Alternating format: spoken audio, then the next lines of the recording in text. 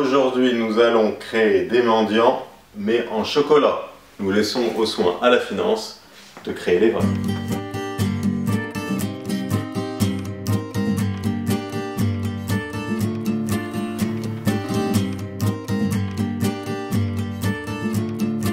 Mmh. Alors pour faire des beaux mendiants, bien brillants, bien durs, bien croquants, bien réguliers, on va devoir cristalliser ou tempérer notre chocolat. Cristalliser et tempérer, c'est pareil. Donc comment on fait ça? On monte en température, on monte à 45 degrés, 50 degrés pour faire fondre toutes les graisses. On redescend à 26, 27, 28 suivant le chocolat que vous avez et on remonte un petit coup à 30. Ok? Et ensuite on est prêt à travailler. Donc pour faire ça, on va avoir besoin d'un bain-marie pour faire monter la température, d'un bol de glace, d'un cul de poule avec de la glace et un peu d'eau dedans, et encore un petit coup de bain-marie. Voilà. Et même, c'est même recommandé pour, euh, pour tout le monde d'avoir un thermomètre. C'est mieux d'avoir un thermomètre. ok? Donc moi j'ai un thermomètre laser. Sur Meilleur du Chef, ça coûte 75 euros. Euh, vous n'êtes pas obligé d'en avoir un laser.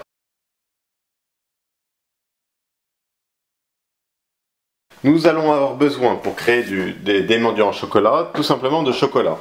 Chocolat au lait, chocolat noir, chocolat blanc. C'est vous qui choisissez.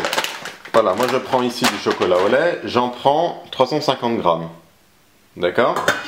Un cul de poule, une casserole avec un fond d'eau pour le bain-marie, un autre cul de poule de la même taille à peu près, des glaçons, je vais utiliser ça tout à l'heure pour le tempérage du chocolat, un thermomètre de préférence, une poche à douille, une douille avec une douille assez petite, et évidemment des fruits secs. Ici j'ai euh, des cerneaux de noix et non pas des, créneaux de toit, des raisins blancs, j'ai pas de raisins rouges, j'ai des abricots, j'ai des noisettes, des amandes, cranberries, des figues et des pistaches.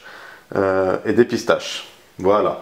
Donc c'est tout ce dont j'ai besoin une petite feuille en, une feuille de cuisson ou une feuille en plastique comme ceci pour poser les, euh, les, les mendiants.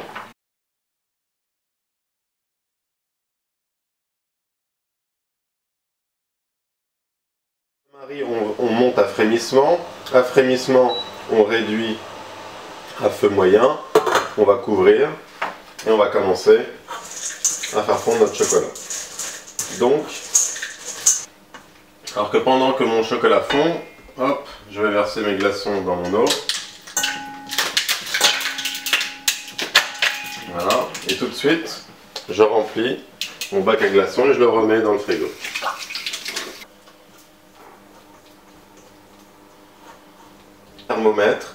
Je vois bien que mon chocolat n'est pas fondu. J'attends que mon chocolat soit complètement fondu. Voilà, mon chocolat est quasiment complètement fondu. Voilà, mon avis, maintenant, je suis à température. Donc je check. En effet.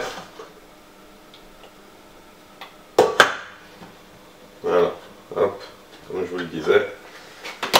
Voilà. Alors, on met le bain-marie de côté, on a notre chocolat chaud, on va le tremper dans notre eau froide pour le refroidir.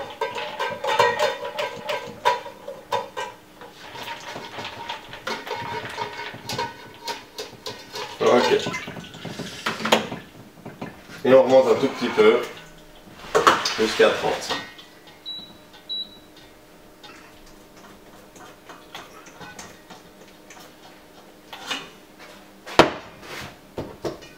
Ok.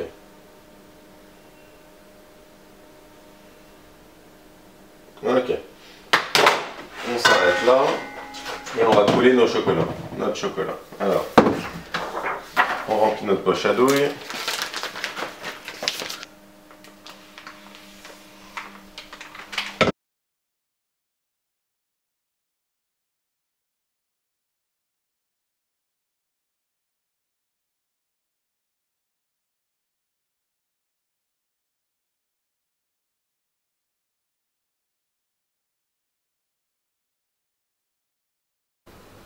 Voilà, donc on attend qu'il durcisse c'est déjà en train de, se passer.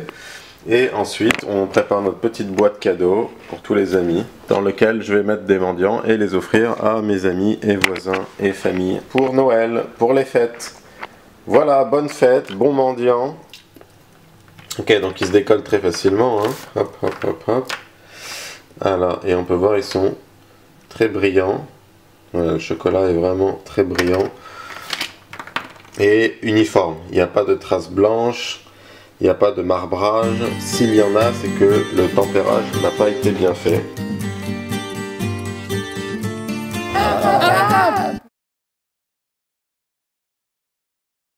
Alors si vous avez une corne,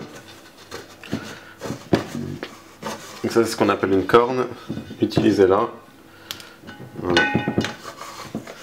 Nettoyez votre bol.